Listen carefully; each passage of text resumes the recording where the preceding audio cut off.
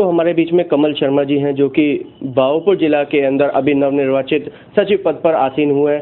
भीषम शर्मा कि यहाँ के जिला अध्यक्ष हैं, उन्होंने इनके ऊपर ये कार्यभार सौंपा है। इनसे बात कर लेते हैं। सक्रिय नेता हैं कांग्रेस के वरिष्ठ कांग्रेसी कार्यकर्ता भी हैं, वहीं प्रमुख समाज सेवी भी हैं, इनसे बात करते हैं। सबसे पहले तो कमल जी, हार्दिक शुभकामनाएँ सचिव पद पर आने के लिए।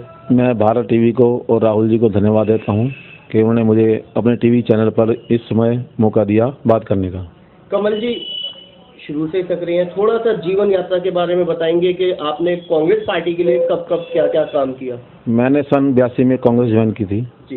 एच के एल भगत जी के टाइम से मैं कांग्रेस से जुड़ा हुआ हूँ। उसके बाद शीला जी आई। बहुत सारे दिल्ली प्रदेश अध्यक्ष बने जिसमें श्री राम बाबू शर्मा जी का नाम सबसे ऊपर आया आज तक। और मैंने उनके कार्यकाल में बहुत सारे काम किए हैं। राम बाबू जी के साथ भी कंधे से कंधा मिलाकर मैंने काम किया है। जी। आज विपिन शर्मा जी जो कि यहाँ के तीन बार विधायक रह चुके हैं और हम तो उनको विधायक ही मानते हैं।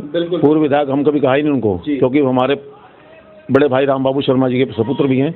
और उन्होंने बहुत सारे कार्य इस क्षेत्र के लिए किए हैं। जी।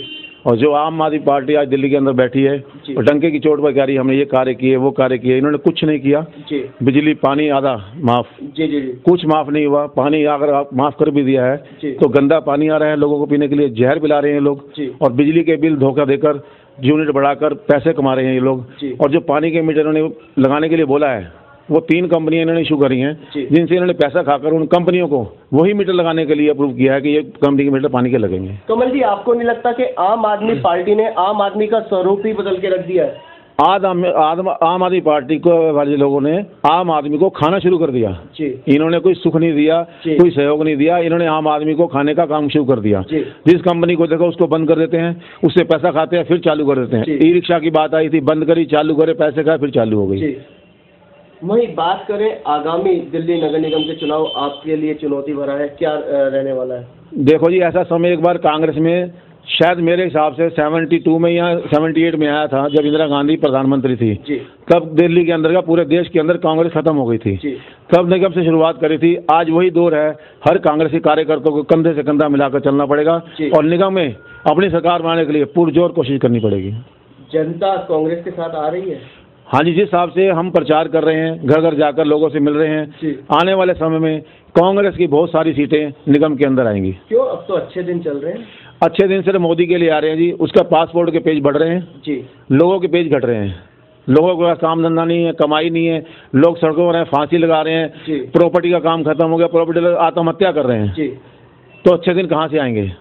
मोदी जी तो कह रहे हैं कि भ्रष्टाचार कम हो गया सुख की शांति बज रही है मेरे देश के अंदर। मुझे ये बताइए जो काम पहले बिना पैसे के हो रहा था आज के अंदर नए मीटर लगवाने जाओ पानी के भी बिजली का बिजली के बिल ठीक कराने जाओ वहाँ भी लोग पैसा खाते हैं। जो तीन मीटर इशू किए हैं आज मीटर चेंज कराओगे तीन दिन बाद आपका रीडर आएगा पैसे ले जाएगा और कागज़ लेकर आपके मीटर सही करके और पिछला बिल नवंबर तक का माफ़ कर देगा मौजूदा विधायक के बारे में क्या कहना है? जो सरिता सिंह जी जी। आज तक इलाके में देखा नहीं गया। इलाके में देखो कितनी गंदगी है। कोई सड़क साफ़ नहीं है कोई नालियाँ टूटी पड़ी हैं। एक ये रताश नगर का नाला है जो खजूर के पेड़ वाला। इसका टेंडर पास हो चुका है इससे लगभग लगभग मेरे हिसाब से सात आठ महीने हो गए। इसका नाला नहीं बनने पा रहा है इनसे। कोई कार्य नहीं कर पा रहे ये लोग और विधायक तो इलाके में नज़र ही नहीं आती हैं। आप तो मेयर के वार्ड में बैठे हैं और मेयर के वार्ड की तो दुर्दशा। मेयर का वार्ड भी ऐसा ही है मेयर पूरी ईस्ट दिल्ली को देख रहा है। जी। उसको इस इलाके से कोई मतलब नहीं है। वो अपने इलाके को देखता बाद में वो अपने चौसठ वार्डों के ध्यान में रखा है।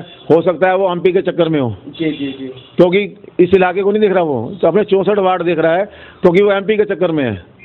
देखने में आ रहा है वेलकम वार्ड की तो बहुत ज़्यादा दुर्दशा बद से बदतर है। राहुल जी मैं भारत टीवी के माध्यम से एक बात बताना चाहूँगा। जी। जितने भी बीजेपी की सरकार है चाहे ऊपर की है या नीचे की है और दिल्ली में आपकी सरकार है इन तीनों सरकारें फेल हैं और आगे आने वाले चुनाव में कांग्रेस सत्ता में आएगी और हम दिखाएँगे कार्य कैसे होते हैं। तो जनता को क्या चेताना चाहेंगे क्या अपील मैं तो अपील ये करना चाहूँगा भाजपा देखी आप देखी अब कांग्रेस की बारी है। आने वाले चुनाव में कांग्रेस को जिताना हाँ कांग्रेस का हाथ मज़बूत बनाना, यही मेरी सबसे प्रार्थना है।